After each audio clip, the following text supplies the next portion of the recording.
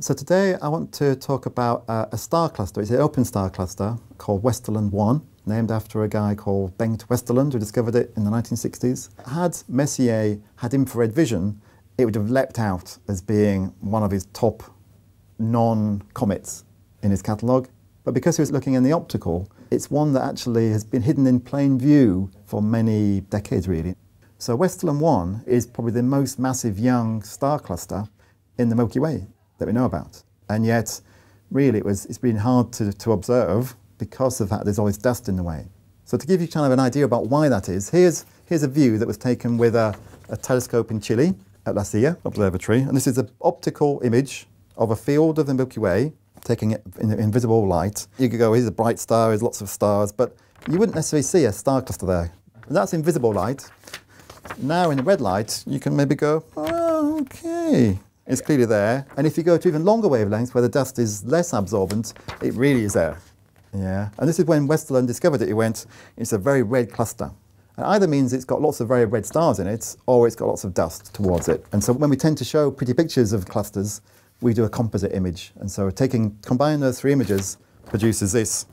And so this is a combined image of Westerlund 1. All the stars in the cluster are these kind of reddy orangey things. But most of the reddy orange things here are actually really very blue things, but the light's being absorbed in the blue, so they look red. So in fact, if you went in a, in a spaceship and you got to be got to be there, they would be incredibly blue, incredibly bright stars, and it's just the dust that's got in the way. So it's it's young, which means any star up to about 30 times the mass of a sun are still existing. So it's got this crazy zoo of all these different massive stars, so red supergiants, yellow supergiants, all these massive stars at various stages of evolution. A decade ago, when we pointed actually uh, an X-ray telescope at uh, Westerlund 1, we found a very bright X-ray source, and that X-ray source turns out to be a neutron star.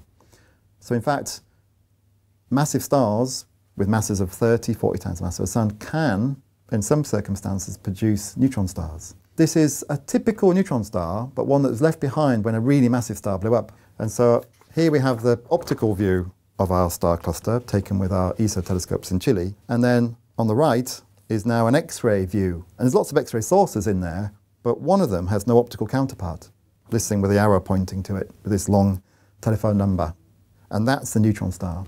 And this is a very young neutron star. It's only probably 10,000 years old.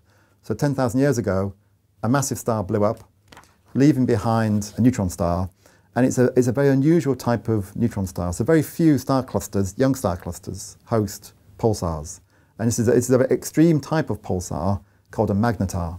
Magnetars have crazily strong magnetic fields, and so the way that radio astronomers kind of show properties of pulsars is through what's called a p-p dot diagram. And so I'm going to show you a p-p dot diagram. On the x-axis, it's a rotational period. So the shortest periods of pulsars is about a millisecond. Normal ones, you know, rotation rates 10 times a second, only 10 times a second. And then the slow ones rotate for a second or two. And then the one with the weird unit, this p dot part, gets to such accurate chronometers, you can actually get a really accurate way of how that period is changing with time. And the units of those are seconds per second. So most pulsars that we know about in the Milky Way sit in this kind of cloud here. And when they get older, most pulsars kind of go towards this cloud, and then we can't detect them. This is this graveyard where they end up. Magnetars sit way up here. Although the spin periods are quite slow, they have crazily high magnetic fields, and no one knows why. There's only three magnetars in star clusters in the Milky Way. One's in Westerlund 1, and there are two other star clusters, which are pretty young, which have got magnetars. Two of the three ones in clusters, which can get an age and therefore a mass of the star, are in pretty young clusters, so come from 30, 40 solar mass stars. One, maybe more like a 15 solar mass star. So these are kind of a crazily high magnetic fields. These are even crazier by a factor of a thousand compared to the normal pulsar type things. Could we live near a magnetar? What if the sun was a hmm. magnetar? Now that would be very bad.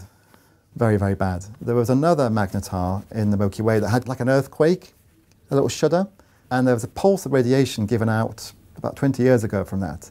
This is at 25,000 light years away. It caused the Earth's magnetosphere to wobble from a tiny quake in a magnetar on the other side of the Milky Way. If you didn't mind about the actual magnetic field, it looks like a normal pulsar. So it's basically a city-sized neutron star, incredibly, incredibly dense, made of neutrons, but one which in general is rotating slower than a normal pulsar, but it's a magnetic field that makes it so unusual.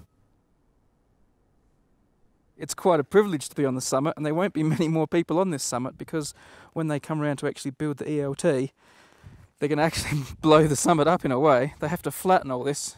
They're going to lower the mountain a bit and make a nice big flat platform for the ELT.